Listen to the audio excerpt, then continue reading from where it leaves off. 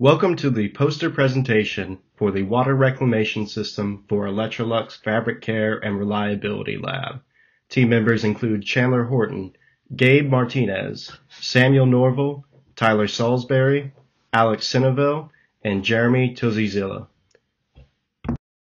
Electrolux is a socially conscious company that strives to reduce their impact on the environment. Their Global Technology Center houses 64 washing machines that are continuously tested through simulated use.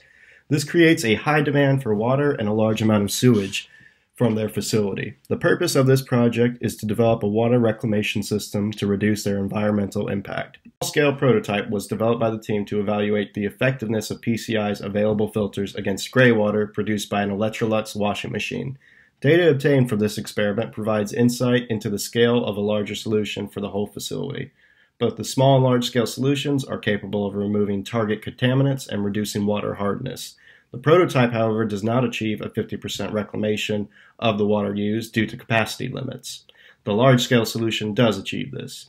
In addition, the large scale solution is able to operate with varying capacity demands, whereas the prototype is limited. Prior to designing the prototype, certain assumptions were made based on testing and research. Baseline water quality testing was performed on Electrolux's gray water and was determined that TSS, primarily consisting of lint, and TDS, primarily consisting of detergents, were the main parameters of concern. pH and total water hardness fell within normal range.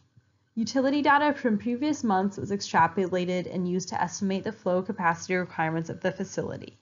These values were the basis of the system selection and large-scale sizing. Membrane filtration was selected due to its high removal efficiency and recovery rates with relatively low footprint and maintenance requirements. Two types of membrane filtration were compared using this prototype.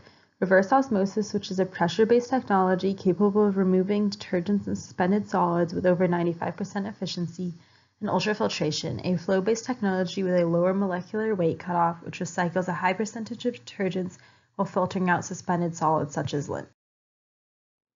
The team chose PCI Membranes as the manufacturer and large-scale consultant due to PCI's 50 years of experience in multiple filtration applications. A variety of sensors and actuators are throughout the system to allow for monitoring and determination of states which are reflected on the user interface. The motor used to turn on the pump is a three-phase 230 volt motor.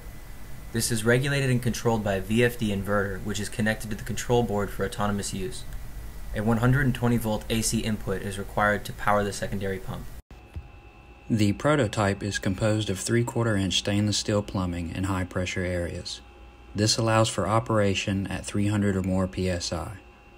The motor and pump combination allows for a flow rate of approximately 6 gallons per minute. A secondary pump is included to allow recirculation into the washing machine. Performance testing yielded an average flux of 32 gallons per feet square per day for RO and 138 gallons per feet square per day for UF. Since flux rate is a function of membrane surface area, the ultrafiltration system required to meet capacity requirements would be significantly smaller and cheaper than the RO system, as reflected in the payback analysis. Initial testing found removal of detergents to be 98% for RO and 39% for UF, and the removal of turbidity to be 39% and 87% respectively. The average turbidity values and pH all fell within the acceptable ranges according to the NSF/ANSI 350 standards for gray water reuse.